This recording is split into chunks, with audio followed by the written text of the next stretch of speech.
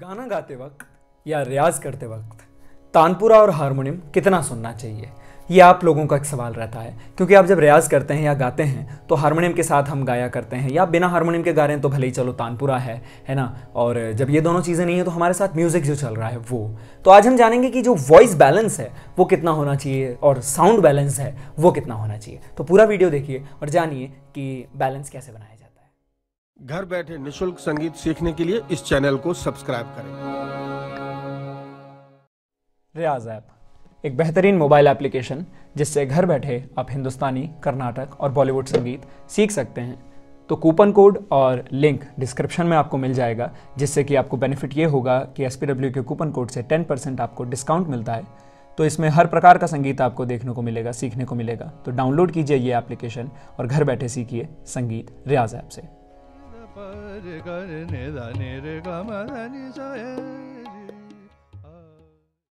कुछ ना किसी से बोलेंगे, तन्हाई में रो लेंगे।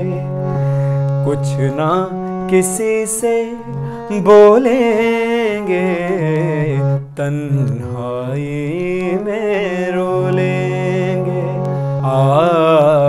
तन्हाई में रो लेंगे। कुछ ना किसी से बोलेंगे। तन्हाई में रो लेंगे।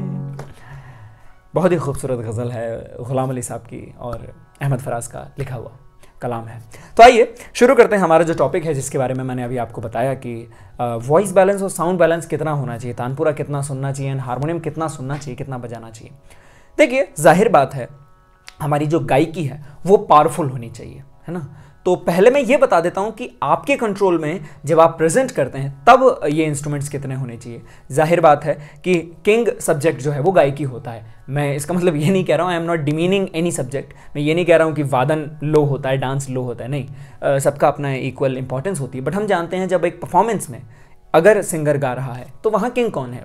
सिंगर ये चलो किंग ना कहकर हम ये कह सकते हैं कि उसको आ, सुनने आए हैं लोग तो उसका साउंड बट ऑफ़ कोर्स थोड़ा तो ऊँचा होना ही चाहिए बाकी इंस्ट्रूमेंट्स के बनस्बत। अगर तबला लाउड बज रहा है और आपको सिंगर की आवाज़ नहीं आ रही है आप बस ये कह दें कि इक्वल होना चाहिए। भैया इक्वल नहीं कर सकते ना तबला का साउंड क्वालिटी अलग है सिंगिंग साउंड क्वालिटी अलग है। तो अगर तबला भी सेम पिच पे कर दिया तो आपको सिंगर की आवाज़ नहीं आएगी। हारमोनियम कॉन्गो, ढोलक संतूर, वायलिन, जो भी इंस्ट्रूमेंट साथ बज रहा है, उसका साउंड जो है सिंगिंग से हल्का हल्का नीचे ही होता है, तभी वो बैलेंस बनता है और सिंगिंग खिल के आती है सामने।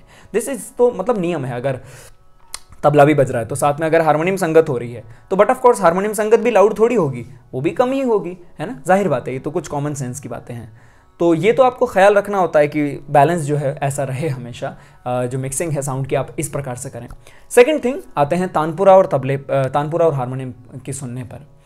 तो एक चीज़ है जो मैंने भी अपने गुरुजी से सीखी है और समझी है कि ज़्यादा तानपुरा या ज़्यादा हारमोनियम सुनने से आदमी बेसुरा हो जाता है। ऐसा क्यों कहते हैं वो? क्योंकि हमें आदत लग जाती है बैसाखी की, है ना?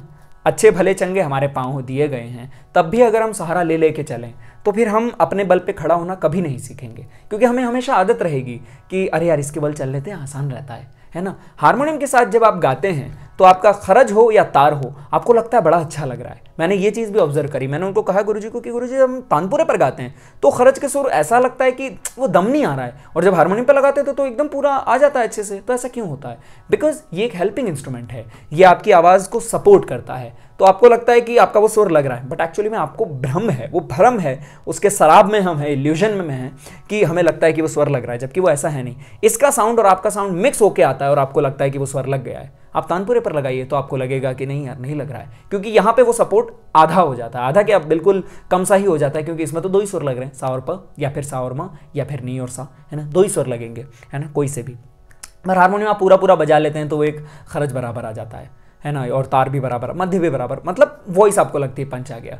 तो ज़ाहिर बात है, दोनों का जवाब तो यही है कि इनका साउंड कम होना चाहिए। क्यों?